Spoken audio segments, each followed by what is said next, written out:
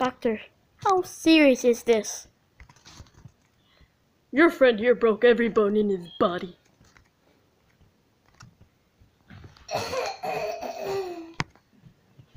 Why is he wrapped in toilet paper?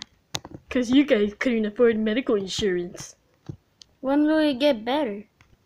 When you guys can afford real medical insurance, duh. Doctor, doctor, doctor. You don't have to yell, I'm right here, you know.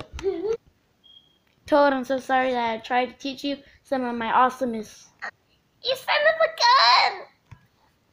Well, good luck trying to find a job that pays $7,000 because that's how much your bill costs.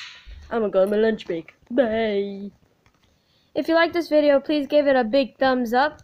And if you're new to our channel, please please subscribe if you're, if you're not already. Now, bye!